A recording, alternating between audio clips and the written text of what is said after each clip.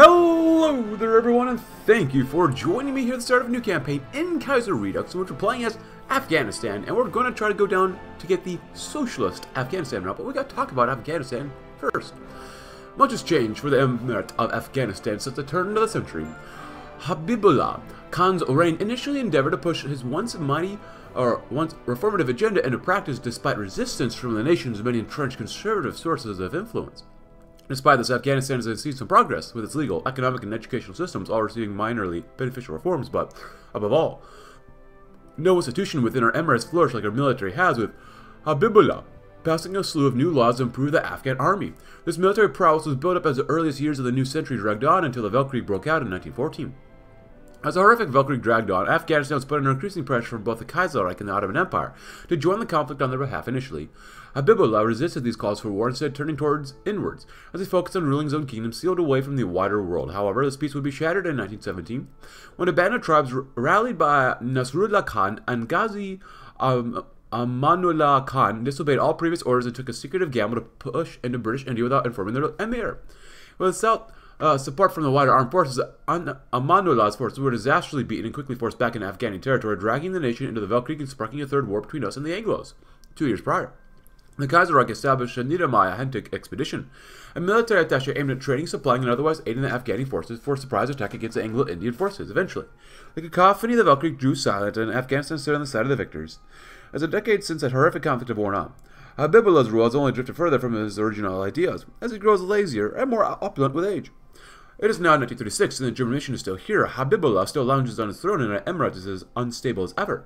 The constant meddling of the Kaiser's expeditionary force has only driven up unrest. Regardless of the military benefits it has provided, and this chaotic situation has only been stoked by the rising radicalism being proliferated within the provisional government of India, which we have so generously harbored. The young Afghans, a minor, a local nationalist movement, grew increasingly vocal over their displeasure with Habibullah's rule, and the emir's two main rivals of Amanullah and Nasrullah are at each other's throats, each vying for the seat on Habibullah's throne.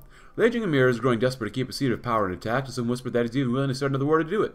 The nation of Afghanistan once again on the edge of a great change or utter collapse, and only Allah knows which way it will fall.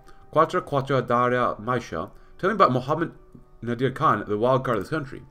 This guy, leader of the Musahiban branch, was born in Dehradun, British India in 1883. Due to the Iron Emir, Habibullah's father, realizing that the branch family never cease trying to seize the throne, he exiled them in India and told his heir to never allow the Al Yahya family into the country again, or his dynasty would face the consequences. After ascending to the throne, Emir Habibullah paid an official visit to the British India, where he fell in love with the Nadir sisters, of course. Nadir, realizing an opportunity had opened for him, took advantage of the Emir's uh, philandry and had his sister married to the Emir. It was quick work to convince the king to let the family return to Afghanistan, and at once back. Nadir immediately started to make contacts with previous friends of the branch family and those using his, using his contacts, became a general and led the Afghan army into the Third Anglo-Afghan Anglo-Afghan War. After distinguishing himself in the war, he, made, he was made Minister of War and set out to reform the army, a task which was made easier by the involvement of the German military attaché. Currently, Prince Nadir, along with his own son Zahir, are not in Afghanistan as the old prince is currently recovering from surgery in Europe. Now, as the country stands at the precipice of war, Nadir Khan is making plans for his return, planning to destabilize the nation and take the throne for himself. Rumors have reached the ears of the emir that there have already been shady dealings between the British and Nadir Khan about a possible coup, but the emir has turned a deaf ear to these concerns, saying that his brother-in-law would never harm him for he is like his own brother. Whatever his intentions, Nadir Khan has influence, and the men behind him, become a big name in the inevitable power struggle in Kabul. Okay, I can't do anything here. Yeah, victorious, huh? I like to see that resistance growth speed goes down. Uh, occupied territories, local police force, civilian oversight. That'd be good. Oh, and actually, Amanullah in Istanbul. Amanullah Khan, son of Habibullah. Habibullah arrived in Istanbul earlier today. When Am Amanullah landed in Istanbul, he was immediately taken back by its glory and grandeur. The Queen of Cities easily lives up to her name. He was greeted by a government delegation with a smart and clean honor guard and was first taken around the city for a few hours as the Sultan is said to be asleep. He eats the best food he has in some time, visited numerous historical sites, answered questions about the, by throngs of foreign reporters, and finally has his midday prayers in the Hagia Sophia. When his dinner is taken to the Sultan, and the two hit, hit well off. The Sultan asks about the war, how Afghanistan is doing, while Amanullah asks about how the Sublime Porte fares in turn. The Sultan pledges to provide support to the Afghan cause by any means necessary, and in turn humbly requests support. Many of the royal court, the Caliph included, believes war may be coming to the Ottoman sphere of influence. The Emir's son pledged to support the Caliph in any way he could. Amanullah then watched the palace guard execute the parade maneuvers in the courtyard and appeared thoroughly impressed. Such discipline, such fervor. He was seen off by the Sultan himself, and as Amanullah sits down in his plane, all consider the visit between the two as a great success. Hopefully, the friendship between our two great nations never dies. The sick man doesn't seem so sick to me. Tribal cavalry?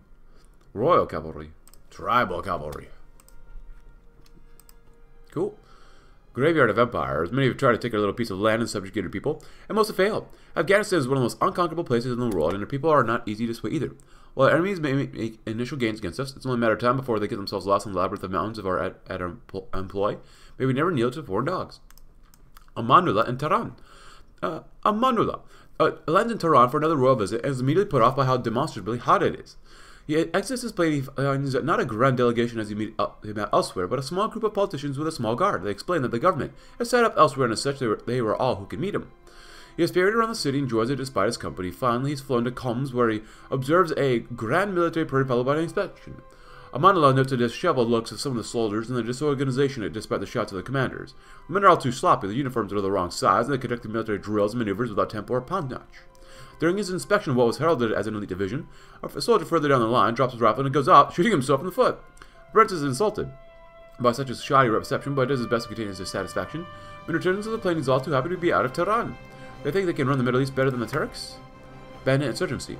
The officer Habibullah Kalakani has eyed Kabul extensively with hungry eyes. A shoddy coalition of Islamic radicals, disgruntled tribes and other government dissidents, and the men under Kalanaki, or Kalan, Kalan, Kalakani would see Afghan policy shifted radically. At the moment, their face are forced to hide in the mountains of our country and employ hit-and-run tactics to slow us down. How great. Amanullah returns. When Amanullah returns to Kabul, he returns a changed man. He looked out of the capital, he left no longer content with its vistas. He saw the magnificence of Istanbul and the squalor of Tehran and is ashamed to see Kabul looking like the latter rather than the former. He's also too aware of the state of the military before the war, and his visit to the Ottomans has given some ideas as to how to improve the situation. While Amanullah is not first in line to receive the throne, he should just father abdicate or be rendered incapable. He's a man of ambition. His uncle Nasrullah is a reactionary man who would rather see Afghanistan dwell in the same troubles that have been affecting him for centuries instead of dragging it into the future. A foolish agenda. Amanullah Khan, one way or another, will have his throne and will force Afghanistan one way or another into the modern world. I found Kabul a city of mud. I shall leave it a city of gold. Ooh. Outdated tribal military. Oh, good God. It's no secret that our relative isolation from the rest of the world has resulted in us lagging greatly behind the other regional and world powers in the realm of military technology.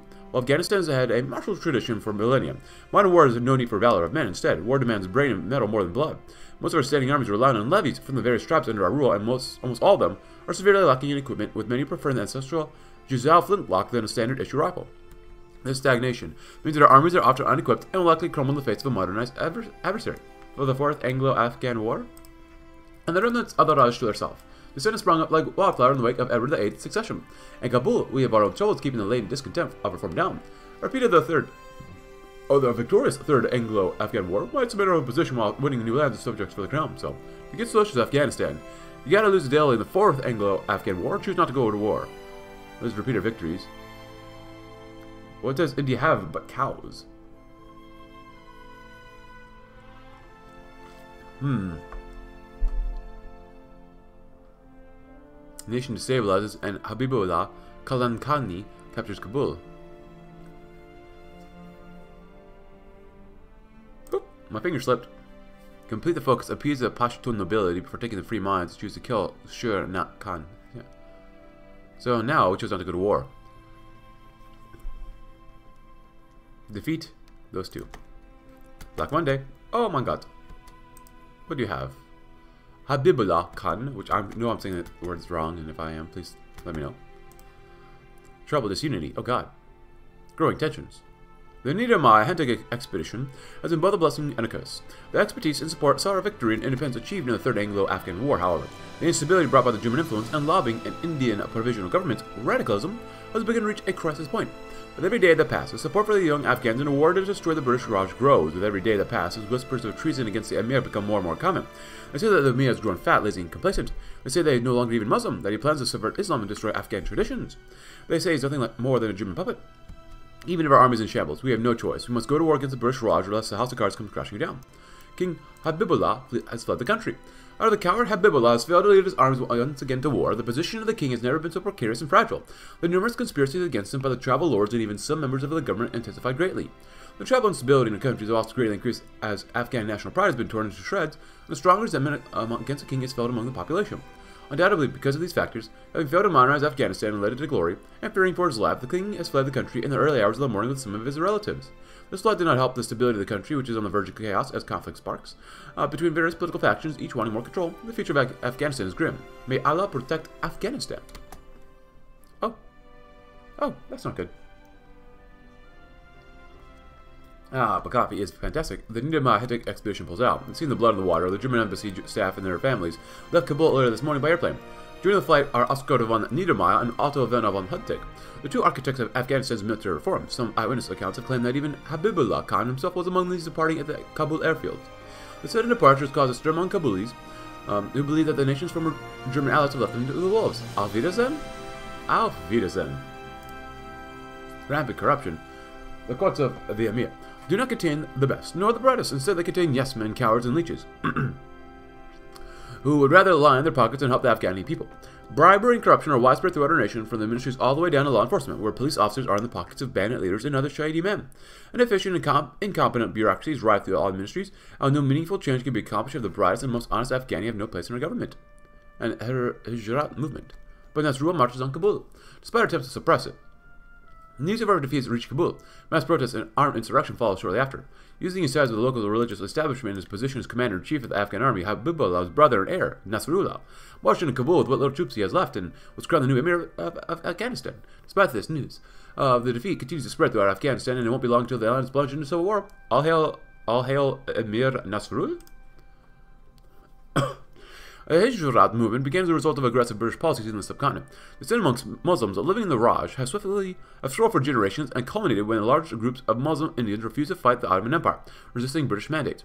With the British resorting to mass arrests and displacements, many Muslims sought refuge in Kabul, to which the emirs grant, generously granted. For nearly 20 years, we have been a safe haven for the followers of Allah in the Indian subcontinent, but our administration is severely weakened due to the constant influx of immigrants, much with much of the populace displeased. Nasrul Khan God dang, does he have a beard? If you want to read about him, holy crap, that's a lot.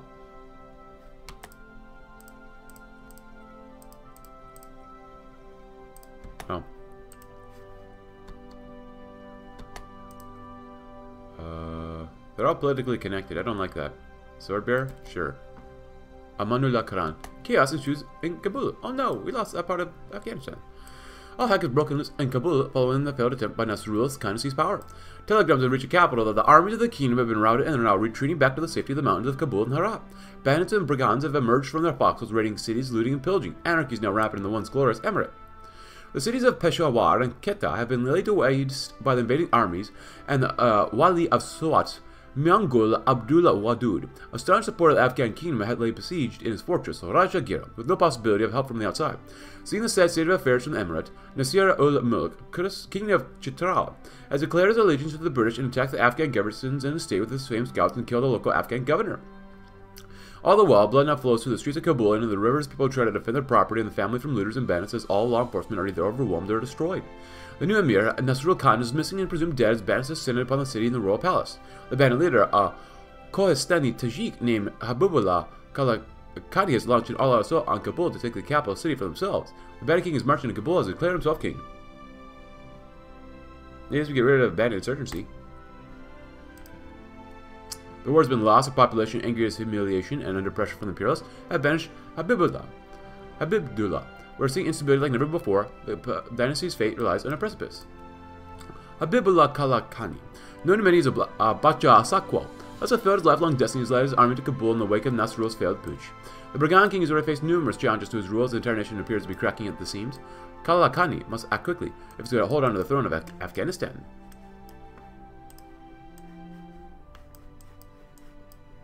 What focuses can we do? I don't know. Nothing up here. Anything over here? Oh, is it? That's weird. Oh, so we just bypass all this stuff. Interesting.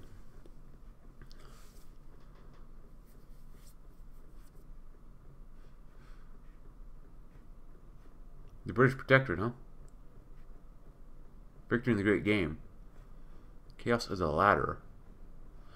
Well, with Emir fleeing the nation during its darkest hour, the entire nation is descending into chaos. Always sensing an opportunity, the bandit king of Kohistan, Abdullah has seized the chance and has marched his loyal army to besiege Kabul. Adair Kabul. The infamous Habibullah Kalakani and his brigands have blasted through the fortified walls of the Arg and seized Kabul. The citizens of Kabul can only fear for the worst as Batu's brigands descend upon the city to fill their pockets. Okay then. Hey, Afghanistan. Habibullah Kalakani. Oh. And here we're at. Who do we have? We have this guy. Okay.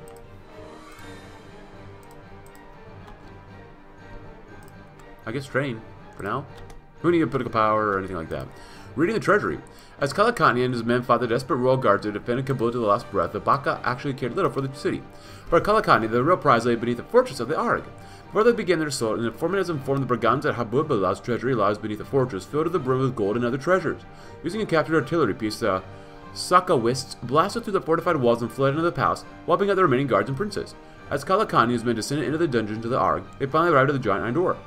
Using dynamite to blast it open, the bandits hungrily waited their reward. As it dust settled, all that remained in the vault was a few coins scattered on the floor. Habibullah had already emptied the treasure before he left Afghanistan. The Baka was enraged, and for that he had promised to pay his men in full. Now wishing to anger his loyal band, Kalakani sent his men towards their new bounty, the city of Kabul. That fat guy will regret emptying that vault. Oh, good God. That's not good. Oh, hello. Ah, repair the loyal band. With the capture the Arab, we discovered that the guy, Habibullah, emptied the royal treasury. Promised riches and wealth, Kalakani will still carry out the payment that was promised to his men. The Baka and his men turn the sights on the city of Kabul and get away lights to the capital. This action, however, will certainly catch attention of those who plot against a rule. A rule. Accelerates Muhammad Nadir Khan's campaign by 75 days. Oh, do we have a campaign here? Rally the minority tribes. Kalakani has garnered the ire of the ruling Pashtun elite due to the fact that he's the only non-Pashtun leader of Afghanistan in centuries. Ethnic Tajik, Kalakani has uh, gained blanket support among minority tribes throughout Afghanistan, uh, who have played a crucial role in this Sakawist movement. As Emir, Kalakani has called upon the support of these minority tribes to bend, to band against the ruling Pashtun class. Hmm. oh, delays this campaign. Kalakani raids Kabul. As Kalakani's first decree as Emir, Labaka gave his loyal followers free reign in the sack of Kabul. Similar to a pack of wild animals, Kalakani's men poured out of the gates of the Arg and back into the streets of Kabul. Sakawist brigands broke into homes and looted the merchants' quarters, taking anything that was not nailed to the floor. Eager to use modern-day rifles to seize from the Kabul arsenal, the band tested these weapons by indiscriminately shooting anyone who dared to get in their way. Under the Baka's orders, all schools, palaces, and anything else they deemed heretical were to be razed to the ground. Smoke plumed into the night skies as Kalakani and his men returned to the Arg with the newfound gains. Kalakani knew that this action would attract the ire of the local elites, causing them to take up arms against the new emir. Tonight this mattered nothing to the Baka, for he and his men celebrated in the former emir's palace. The Baka always repays his men. Oh boy. Now what's this? Court of the Mullahs. During Habibullah's reign, the emir's reformist streak earned him a number of enemies with the traditionalist members of the clergy. In search of allies for the Sakawist cause, we'll make contacts with these dissidents to try and gain the support with the backing we could. Uh, greatly improve the legitimacy of our government in the eyes of the Afghan people. But local muftis, Quran Ahmad Ali Khan Emir. Oh, hello. And a glorious raid in Kabul sent the once proud and mighty Pashtun elites into a frenzy. For years they mocked the Baka es Sakwa and his brigands, now they are fearing for his very lives, and acted at desperation against the Baka and his righteous army.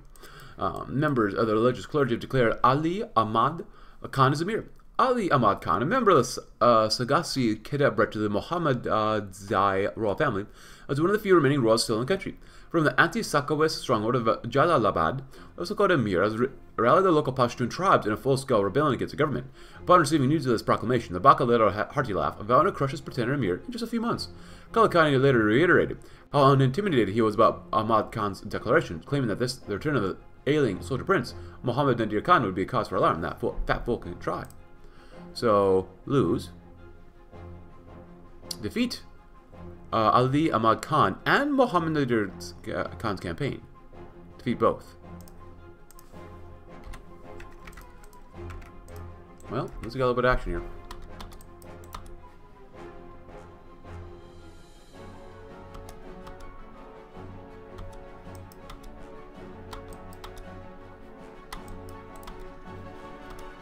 The soldier prince returns. In the shelled-out throne room of the Arg, Kalakani and his men gathered to plan their next moves against Ali Ahmad Khan and his rebellion. In the middle of the meeting, an envoy rushed from the Baka's court with troubling news. The envoy explained to Kalakani that he had been traveling all night with news that the Sakawist forces were driven away by an invading army in the Logar Valley.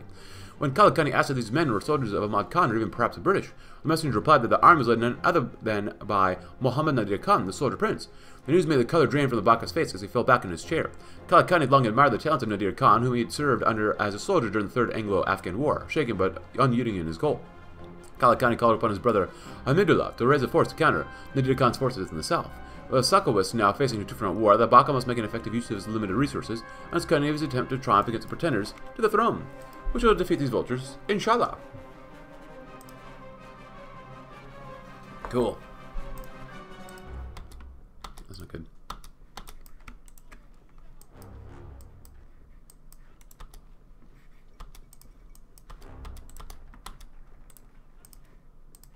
Squeeze the side offs.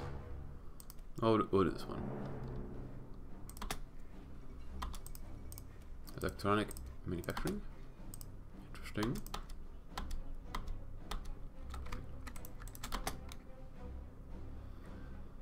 We're grinding up some army XP, which is nice. I guess for now, we can also be offensive too. And get and recover faster as well.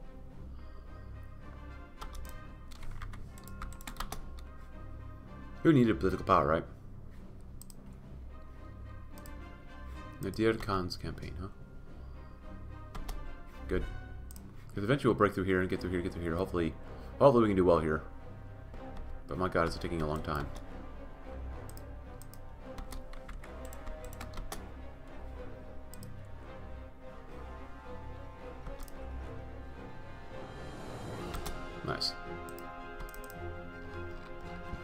What happened up here?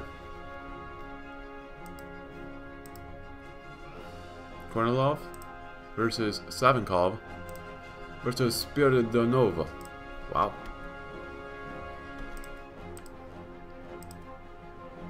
Court the Mullahs.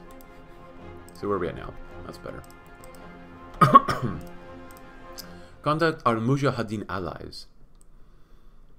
The defenders of the One True Faith. Before our armies marched on Kabul, we bravely faced off against Emir Abubullah's attempts to destroy our government. But what were we fighting for? Many would tell you that we're just bandits trying to fill our pockets, but that's simply not true. We're fighting to save Afghanistan from falling prey to the demonic Abubullah Khan who tried to separate Islam from the government. Through Kalakani's alliance with the traditionalist members of the clergy, Kalakani and his band will take the image as righteous defenders of Islam. As they should. Go in. Like immediately. Because they're going to need help get over that river, and they're they're the only weak ones weak enough. So what are you learning? No, you're not allowed to lose. No, no, no. Not here. Not in front of Allah. Allah says win or die. Oh. Hey! Absolutely. Of course, we'll have Defenders of One True Faith. Um, hmm. Contacted our Mujahideen allies. Our Sakowist movement has always maintained close ties with the Ibrahim Bek and the Mujahideen in Turkestan. Merely calling the bandits of the outside world, our armies have both bravely waged war against modernity and foreign imperialism. With the role contested by agents of the British Empire and the lackeys of the Pashto nobility, we'll ask Bek to aid us, to aid us in our struggle and to send his Mujahideen fighters to help us in the war for Afghanistan's destiny. Tools are nice.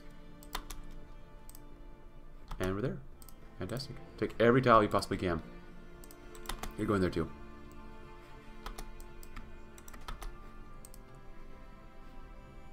Continue to just beat the crap out of them, and then we'll circle this division, kill it off, and take out this division too. Coup d'etat in Siam. Losses, 185 versus 606. Not great, but not bad. Uh, we don't have that much infantry equipment either. Should the Germans be showing up here?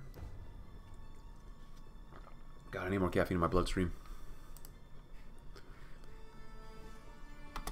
What if we did this? You also go out here too. Let's see if can, this division would like to come out, because if not, then we'll have another division to support us up here. Nice. Help not, defenders of the One True Faith. And contact our allies.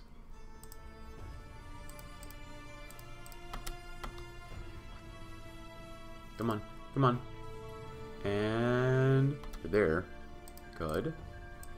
How about here? How about here? How about here? I need you to just hang out.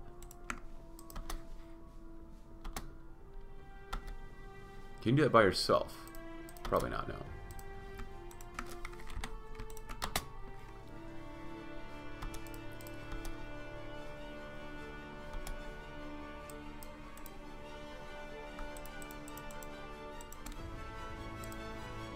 Um, cavalry defense? We don't really need defense.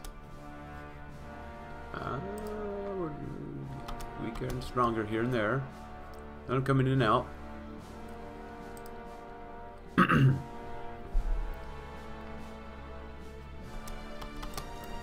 you hold, it's fine. Let them move in and around. I'm going to need you to force the attack. You got to finish these guys off. War against reformism. While Westerners and agents plot to destroy the nation and steal the remains of the British and Germans, Kalakani's Los Saquest heroically waged a full-scale war against reformism. While most of the country sees us as little more than unwashed bandits, we must well let the people of Afghanistan know that we're actually fighting to preserve our traditional ways of life and remain free from foreign powers. Well, we'll see. I need you up here. I need you to lead this group here. And I need you to help support the attack still here. Because we are running out of time. If you can attack here and win, that's fine too. Come on, guys, hurry up up here. Mom, Mal, if you wonder about that, please go ahead. You're trying to declare independence, it's fine.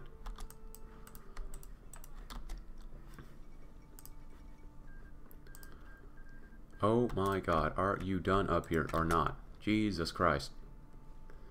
So, if anything, I mean, I'm I'm never opposed to using cons commands anymore because I'm sick and tired of how this works. So if I have to, cons commands will be uh, the thing of the day because sometimes the game just does not let you do it. So, so let's squeeze the sarrafs.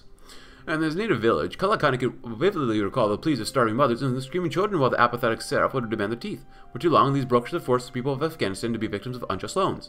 With the treasury empty, we'll summon these moneylenders to the ARG ask for what the nation of As Afghanistan is owned. We'll see these thieves can make excuses while they're pleading for their lives. Oh, would you look at that. The uh, enemy, whoever they were, are now dead because of uh, a skill, yeah. Because we're very good here. Very good. And uh, not because fighting in mountains with literally just guys and sticks. Yeah, totally. Totally, totally normal. Totally didn't do it because we could totally do that normally. Uh, due to the Jalalabad Emir, as the forces blasted through the fortified gates of Jalalabad and reconquered the city, the cowardly Ali Ahmad Khan has already left, attempting to flee across the border into the British India on horseback.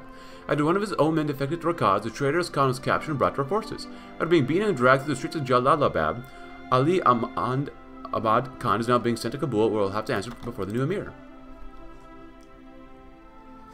Because fighting in Afghanistan is so easy, especially with nothing. Moving into uh, Musahiban, where the revolt of Nadir Khan raging throughout the countryside, telling we tell the Afghan people the truth about this old fool. We'll use the Air Force to distribute leaflets that reveal the true intentions of Nadir Khan. The false emir is nothing more than a pawn in the game of the British Empire, and only seek to sell the Afghan people into slavery, in addition to a propaganda campaign. We'll also imprison members of the Nadir Khan's family to show a force to the British lapdog. East Turkestan delegation requests support. The East Turkestan delegation arrived this morning, requesting support their independence war against Xinjiang clique. How should we respond? Provide them with weapons and gold on a regular basis as full support, or just do partial support, or don't support them at all. Why do we give a crap about you? Don't even bother me. We have our own crap to deal with. Did you not see how much we struggle here? Like, my god. Jesus Christ. Should be a little easier to win that war anyways. But, you know, I'm not the devs. The death of Jalalabad Emir. While being transported to Kabul, Ali Ahmad Khan was able to overpower his captors and fled. After a short manhunt, Ali Khan was found hiding in the home of a Hazara tribesmen along with his sons, making arrangements to flee to British India. The search party promptly shot both the tribesmen and Ali Khan's sons while taking the pretender Emir prisoner. After waiting out his last days in the dungeon of the Arg, the day of Ali Khan's execution finally came. Seeking to make an example of the false Emir, Kalakani ordered that all Ali be beaten, stripped naked, and paraded through the streets of Kabul on the back of a donkey. Ali Khan was then brought to the airstrip on the outskirts of Kabul, where Kalakani and his men were already waiting. Unwavering, the bloodied Emir said nothing to the Baka and choosing instead to look at the skies. As a final act against Pretender, Kalakani ordered that Ahmad be executed by cannon to prevent a proper burial. Ali Khan was then tied to the mouth of the cannon, and there was not much left of him after that. Let this be a lesson to anyone who dares oppose the Baka. Hmm. Interesting way of getting rid of people. But we're going to move against uh, the Musa Iban, and then pulled the wild card. With Ali Ahmad Khan's forces utterly crushed and newfound allies providing much needed legitimacy to a new government, we can now direct our full attention towards stopping Muhammad Nadir Khan's attempt to take the throne. Kali uh, Kalakani and band will set out of the Arg and face off against Nadir's forces in the south of Afghanistan. We'll play our hand against the so-called wild card and make him fold. The Tajik Emir. Following the defeat of Muhammad Nadir Khan's forces, his remaining loyalists are now being hunted down as they attempt to escape across the Durand line. Kalakani has proudly declared that his enemies have been vanquished and has begun preparations to plan an official coronation to help legitimize his rule. Taking up the royal title of Habibullah II, Kalakani wishes to build a sense of contingency or continuity, by ruling as an emir rather than merely as an illegitimate brigand king. Fate of the minarets. as the Greco-Buddhist past has wiped away, was wiped away by Islamic conquerors and missionaries like the Rashidun Arabs, the Ghaznavids, and Umayyads, the Zunbels, the Abbasids, the Ghurids, Persians, and many more during the rise of Islam between the 7th and 13th centuries, our Afghanistan was bathed in the light of Allah. To celebrate this divine revelation, past cultures and dynasties built great works dedicated to the new God and sole God with ornate mosques and other structures appearing all across the mountain of paradise. However, none of these great works compare to the great minaret of Jam and its similar contemporaries like the Ghazni minarets and others like them. Roughly 60 of these minarets and towers were constructed by the great Islamic conquerors of Central Asia between the 11th and 13th century to honor the victories and to mark their new lands, with many still standing today, not only in our own Afghanistan, but in places like India, Persia, Bukhara, Kokand, and Khiva. Uh, the most famous of which being the tallest of them all, the Kutlug Tamir Minaret and Organj near Lake Surgamesh. Not just towers to be forgotten, these minarets have influenced architecture and art in Central and Southern Asia for centuries. Even the famous Mughal Empire of India copied their designs in many of their great works. However, it seems that this storied legacy was not built to last. After centuries upon centuries of arid weather, sandstorms and earthquakes and violent conquests all across the region, these minarets, especially the minaret of Jam, despite its extreme isolation in one of the most inaccessible regions of the nation, has begun to fall apart. As the verses of the Quran uh, chiseled in the masonry begin to decay, and his intricate brick, glazed tile, and stucco, all adorned in Kufic and Nashki calligraphy, continue to crumble into dust. Most have said the final fate. Should we leave these towers to slowly wither, saving state funds, but leave them to their fate under Allah's protection alone, or should we spend some state funds to declare these sites important to our heritage and history while working to repair them, or at least stop them from falling apart? Allah shall protect them, work to repair the minarets, and preserve them for future generations, huh? Well, I'll go with that one because we don't have political power. Interesting. So let's go back here.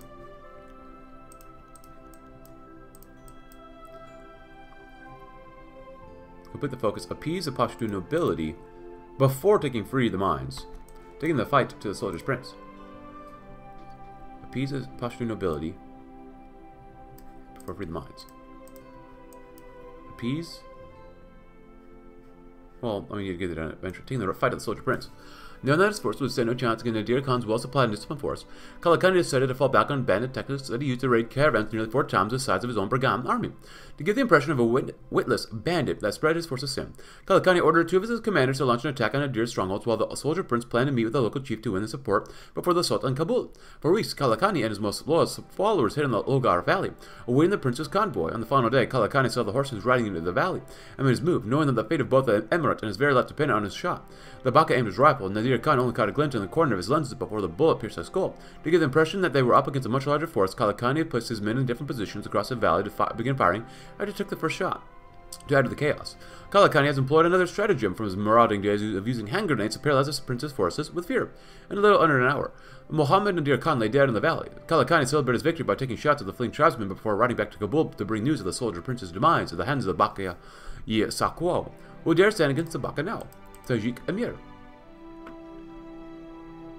Cool. Appease the Pashtun nobility, while we take a strong stance against the Pashtun nobility during the revolt of Nadir Khan and Ali Ahmad Khan.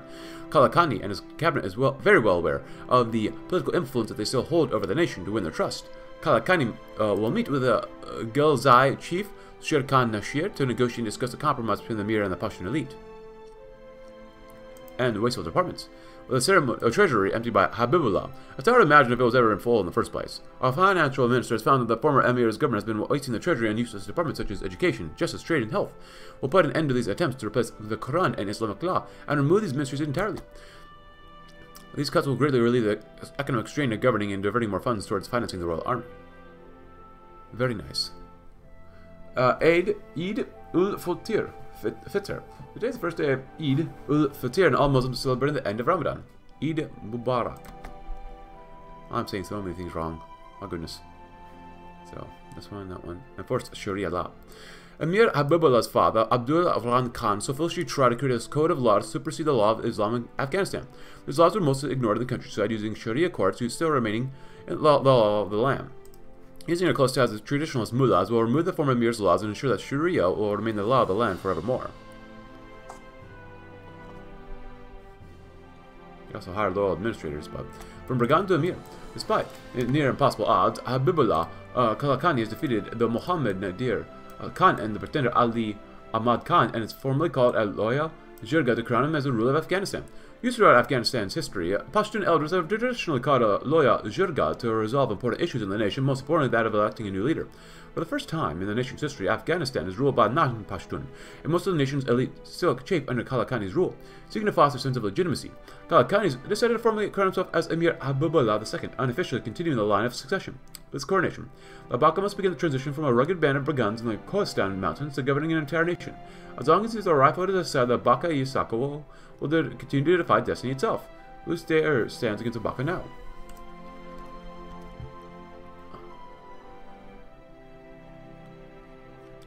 So appease the Pashtun nobility, which we're doing, and then take free the mines and choose to kill him. Wasteful departments, terrible, terribly wasteful departments, you know.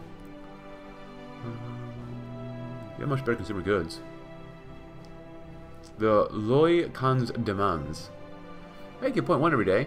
Um, it's getting better weekly. Hey, got a little war support though. That's good. What are the guns and trucks? What else is new? Happy 1937, everybody.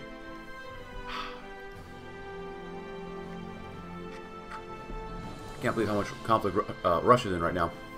What's up there? What is this? Western Russian Army.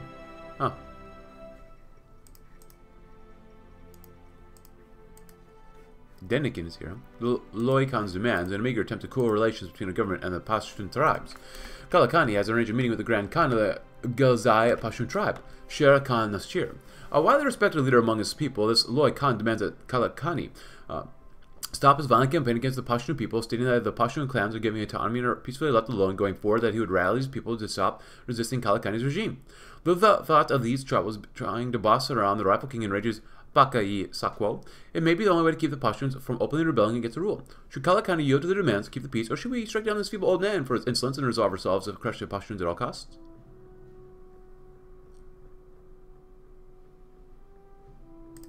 Yeah. Yeah, why not? Yeah.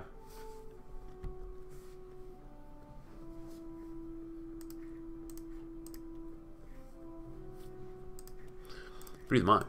It was in Kabul where uh, Kalakani first heard of the word politics, where men had formed clubs to discuss their ideas to the West. Like a plague, these ideas spread through other cities. Even worse, these clubs have the audacity to twist the words of the prophet to their Western beliefs. To save the nation from these seditious groups, Kalakani has decided to enact a decree that outlaw any and all political clubs. Last frontier breaks free. Oh, look at that.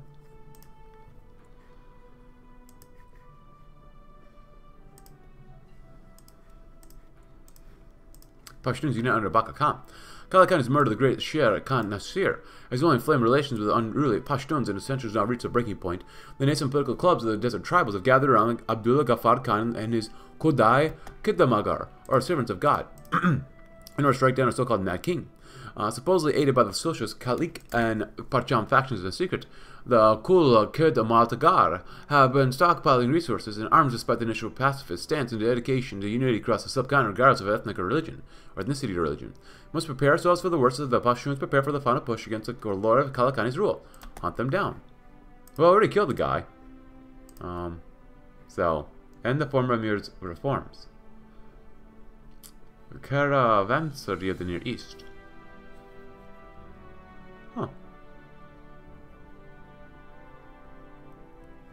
Revising your banditry. Circulate Habib ul Islam. Uh, the Buzz Buzz. Common throughout most of the nation, but originating in the northern mountains, Buzbaz is a form of musical marionette puppetry tradition popular with people of all ages and commonly practiced by the tribes and clans outside the large cities like Kabul. The centerpiece of the Buzbaz is a handmade puppet of the Markhor, or an Afghan goat, both popular in Islamic imagery for the ability to eat devilish serpents and snakes and believed to have magical powers over man and nature, which is usually carved from wood and adorned with baubles or sequins. Tying the puppet to a string attached to his wrist, the puppeteer moves the goat, and a rhythmic beat as they themselves also play music using a dambora or dambra, an Afghan string instrument similar to a guitar, balalaika, or lute. Sensing uh, the puppeteer's movement to the music at all times. This multitasking musical magic is possible because the goat puppet is on a platform that has a string connected through a pipe to the instrument, creating a one-man band and playing that truly is a sight to behold. Wishing to spread the unique peak of, of, Afghan artistic culture to the rest of the nation, Habibullah Kalakani has announced the creation of an entire theater dedicated to the Buzbaz performances now open in the heart of Kabul so that all the nation can experience this traditional art form. Many may this new venue be the heart of Afghanistan's growing art sector, allowing us to bask in the glories of culture and aesthetic perfection without abandoning tradition or falling to the art of heretical modernity, not unlike some quality theater. And Baka Khan's red shirts march in Kabul. With Kalakani's inability to put down the overwhelming resistance against Sakwest rule, Abdul Ghaffar Khan, aka Bacha Khan, the king of chiefs, a fakir eh, Afghan, uh, the frontier Gandhi of the Pashtuns has rallied his uh, shirts among the remaining of anti-Sakwist resistance have marched into Kabul in order to free Afghanistan from tyranny. With the people at their backs, the red shirts, their numbers swelled by Baka Khan's recent alliance with the Pash Parcham and Kalkat, uh, Kalkiu, uh, Kalk socialist factions, they were able to rout the bandits, um, holding the city after young Kalke militant took the head of the Kalakani himself, despite Baka Khan's pleas for the coup to go as non-violently as possible. Urging the Crimson Banner high above Kabul for all to see this new socialist coalition triumphantly steer the Pashtuns from oppression and extermination. And as last the Kalakani's forces retreat into the countryside, it should be upon this new varied and unstable regime to guide Afghanistan's destiny from now on. Afghanistan is finally free from Kalakani's terror. Baka Khan saves the nation. Aided by his anti-colonial and vaguely socialist resistance movement, the Servants of God, or Kudai Kit Matagar, Abdullah Ghaffar Khan, known as Abaka Khan, or the chief of the Khan chiefs, King and Chiefs, has mobilized the vast majority of the Pashtun tribes in an open revolt against the tyranny of Habibullah Kalakani. Though this is a breach of their non-violent principles, Baka Khan and his servants of God shall temporarily break their vows of non-violence, justified as a form of self-defense against the Bandit King's Kalakani's savagery and wanton violence, in order to save Afghanistan and perhaps all of the Indian subcontinent from radical and religious disunity. Holy crap. Oh, look at this. So can we still do this one? No. Yep, so much for uh, sporting uh, Sharia law. Drive with the Sakawists. Ooh, that'd be pretty good. Secure the Socialist Coalition. Well, Abdullah Ghaffar Khan's red shirts, the volunteer ad hoc armed forces of the Kodai Kitmagar, primarily staffed by Pashtun tribal warriors near Nisar Muhammad Yusufzai, have recently liberated Kabul from the mad uh, Kalakani's reign of terror. The surviving Sakawist band still roam the countryside and terrorize the nation. We'll drive all those brigands from the nation with a focused eradication effort exterminate these violent savage bandits in order to save Afghanistan. Well, here we're at.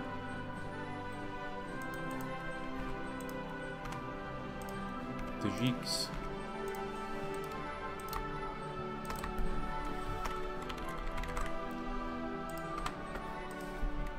Just in case.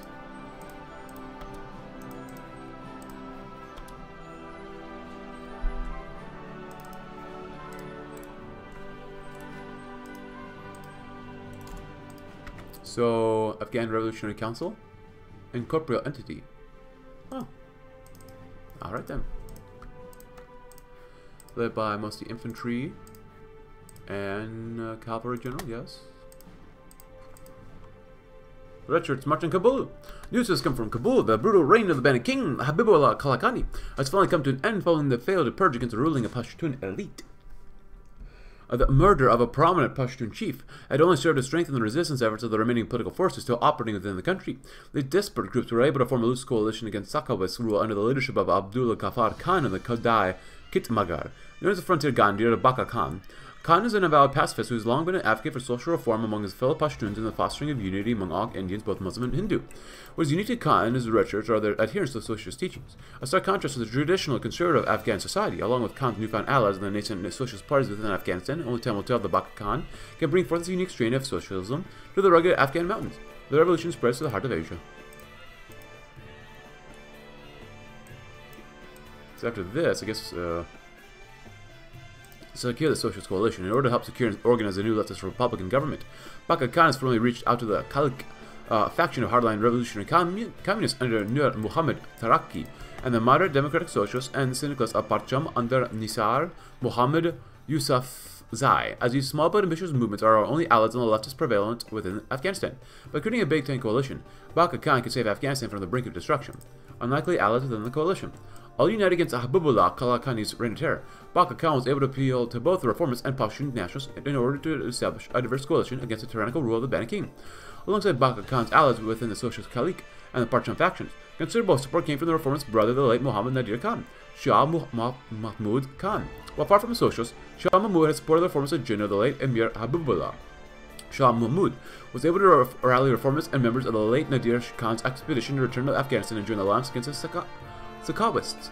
The most controversial ally, however, was uh, a Klup-e-Meli, a clandestine clique of nationalist junior officers uh, led by Mohammed Daoud Khan.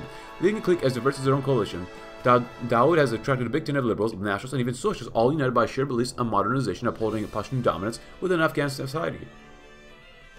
Daoud's ambitions and influence within the military have made him a potentially dangerous figure within the new government if left unchecked. Strange bedfellows all united towards one goal. and Earthquake. Or, no, uh, Earthquake. Oh, Spartacade. If you want to about this, please go ahead. Cool. We're going to take parts of this uh, from these guys. And we need ocean access too. That's really what we want. Ocean access. Traditionalist resistance. Good. Social skepticism. Not good. Aftermath of the Civil War. Not good. A lot of the stuff that we have here. Not good. Outcome, neither good nor bad. Okay. So, aid Afghan agriculture with the Anjuimani Zamadaran. It's not bad. Mobilize the Surkh Posh. Weekly manpower. Oh, that'd be really good. The pacifism of the Frontier Gandhi. Political power for them. Weekly worship goes down. Political power gain, I like that. But we're going to mobilize the Surkh Posh first. The Posh, or Red Shirts, are the driving force behind the Kodai Kitmagar, identified by the distinctly colored shirts. These highly disciplined volunteers are far more than just a militia force as they aid people, and local villages as public works and relief force, helping to establish schools and spread the charitable tenets of Baka Khan far and wide. With the amount of devastation caused by the Kalakani and his brigands, the Russians shall be sent out to undo the damages as we work to heal the communities and the wider Afghan nation. Give more weekly manpower, which would be nice. Because after that, then we'll do establish people's jirgas. Named after the traditional jirgas, or the tribal leader assemblies used by the Pashtun elders, the Red Shirts too are able to organize their efforts through a close-knit network of jirgas of their own organization and design. Within this network, individual villages and settlements run by the Red Shirts are designated to its own small representative jirga, while wider authority rests in a larger, much more centralized provincial jirga, of uh, which is only one for each major Pashtun province. To meet the needs of all of our rural communities, we should apply this unique fusion of tribal customs on a nationwide scale. These local jirgas will allow those within the countryside to assemble and work with the Red Shirts, and government to address local issues. You know, maybe we'll do this one first. I like more political power. That's nice. And to get more radical socialism, too.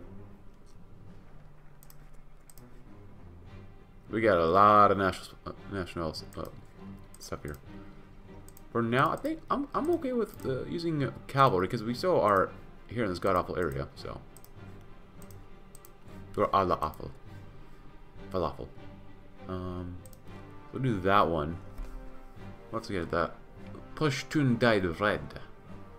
That's pretty good. Foster Hindu-Muslim unity. Ooh, that's also very good too. Liberate the countryside. They're all very good to do.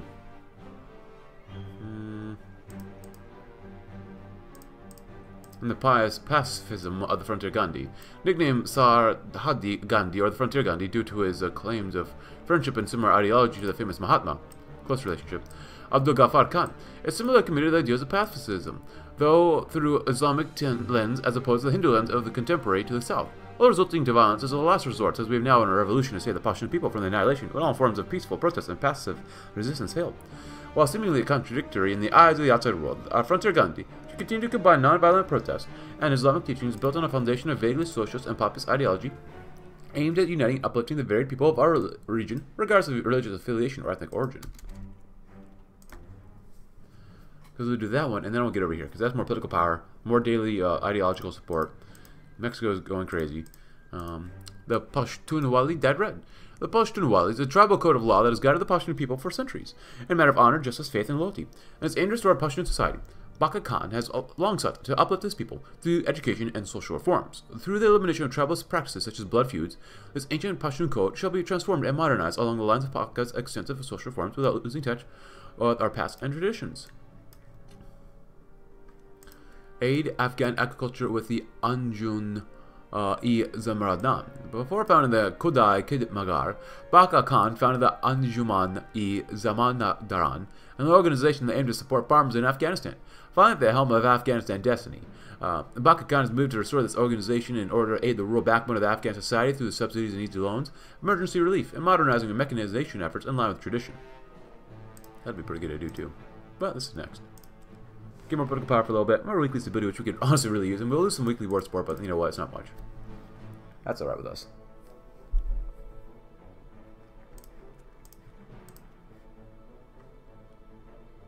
Yeah, foster Hindu-Muslim unity. Much like India, Afghanistan is a land of many diverse faiths and ethnicities for centuries. Hindus have long played an important role uh, within our merchant class, so most have fled from the nation in order to flee the brutality of the Makki and as Islamic extremists. Partially inspired by his personal friend and mentor across the subcontinent, whom Baka Khan even takes his honorific name from, the great Mahatma Gandhi. Baka Khan will promote unity among the two faiths and between all ethnicities, in order to build the cooperative and peaceful melting pot of brotherly love and pious faith that Afghanistan was always meant to be. The final fate remaining uh, Greco-Buddhist art. Though the Greco-Buddhist cultures that once dominated these lands have been gone for millennia, the footprint still remains, for Greco-Buddhist art has still adorns much of Afghanistan despite untold centuries of as aesthetic Islamization. Surviving Greco-Buddhist art and relics like the gorgeous marble high-relief carving, uh, the Bodhisattva, and Chandeka made had in Hada in the 5th century. The massive Buddhas of Bamiyan and even smaller pieces of the gorgeous metalworking, like the golden Bamara and casket, are all great examples of this beauty, culture, and talent of our forgotten past. But these places are despised by many traditionalist Islamists who support Afghanistan's practice of erasing the Greco-Buddhist past entirely as a sign of total devotion to Allah. Should we work to finally finish the total Islamization process, destroying and replacing the last of its potentially harmful Greco-Buddhist influence, or should we allow this portion of our history to remain as it is, and always has been, despite its heretical nature? Alternatively, we could work to find a new wave of Afghan art, both Islamic and Greco-Buddhist, in design, uh, to, in order to revitalize this nearly lost art form and uplift as, as one of the many cultural facets of our nation at the crossroads that has always made Afghanistan unique. What should we do? Part of our history. Finish the total Islamization of Afghan art. Fund the creation of any and all Afghan art, no matter the era or origin. Uh, I like the Islamization of Afghan art. Because, I mean, that would benefit us, right? Yeah, so we might as well do that one. Even though I think this one makes more sense for us. Creation of any and all Afghan art, but We'll go that one for now. Because it does slightly gives more political power too. Coalition partners. Nice.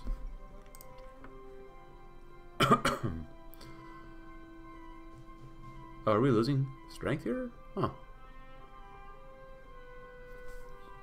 Oh, it's probably because we still have a lot of uh, support from or towards uh, national populace and paternal autocrats. Traditional resistance needs to end. As it should end. Liberate the countryside. Despite our best efforts, the rule of the new government has effectively been limited to major cities and large Pashtun settlements, while the vast majority of Afghanistan's rugged and rural outlands, particularly to the north and west, have largely fallen back to lawlessness and non-enlightened tribalism. Where the position secure, will march out from our strongholds like Kabul to bring a new and modernized rule of law across the rugged mountains once and forever. There you go. Look at that. The Pledge of Pacifism. Mobilized, that's nice. In accord with the mullahs. Versus aid from the Bharatiya commune. This one first. Well, the traditional says around the mullah, uh, uh, clergy were quick to mount a, resistance to the Baka Khan and stubborn adherence to the socialist principles. Their power and influence has waned considerably due to recent events. A far cry from the once powerful clergy that opposed the reforms of Emir Habibullah the follower of the Sakowist insurgents and the death of Sher Khan Nasir have effectively left these bickering clerics disorganized, leaderless, and weaker and more desperate than ever. Assuage the fears of Islamic elite, Baka Khan will use his credentials as a devout Muslim and an advocate for the advancement of the Pashtun people to make peace with these uh, hard-headed traditionalists. Afghanistan's local drug trade. Despite a love of imported opium or other plant-based consumables, Afghan drug trade is dominated by Nasawar. Also called Nas or Naswar or Nasve, Naswar is a moist powdered tobacco dip that can be found packed into the lips and tongues of the untold thousands across Afghanistan. Coming into two main forms, a loose powder or compacted pasted cakes mixed with nut lime, Naswar is known for being pungent, Holding a powerful smell that resembles that of freshly cut, still wet coastal hay, with its flavor being subtle until it mixes with saliva. The nicotine effect kicks in after about 5 minutes of chewing, producing a slight burn and numbing irritation on the upper lip and tongue. The main powdered form is made by the pouring water into a cement-lined cavity, to which a slaked lime and air-cured, sun-dried powdered tobacco is added. Later, indigo is added to the mixture in part to, uh, to impart its famous bright green color, and ash from the burning of juniper bark along with cardamom, oil, menthol, gum, sesame oil, and more can all be added as flavoring as well. Well, the paste form is made by taking the prepared powder and adding water to it so they may be rolled into little balls and set to dry, creating little chewable balls that cause the same effect. Frequently sold on platters alongside sunflower seeds and cigarettes or in other own rolled packets. Naswar and its derivatives are not only important to, important to Afghan culture and other traditional ways of life, for Naswar sales both domestically and internationally help fund our economy in major ways. Naswar is commonly exported to Russia and Eastern Europe, Iberia, and the rest of Central and South Asia. Cities like Herat, Bannu, Dera Ismail Khan, uh, Charsadda and Mohammed are some of the large producers of the snus-like compound, with the Salem produce forming a large pillar of the urban economy while also enriching the lowly farmers that grow their tobacco in massive fields. With all this in mind, Banning Naswar is out of the question entirely despite its apparent health effects like its ability to cause cancer, but that, that does not mean we have no dog in this race. We just continue to turn a blind eye to the problem in order to piece of masses, or we could actively tap into the commodity market, helping a domestic Naswar business truly boom while taking a cut of the profits further from the state. What should we do?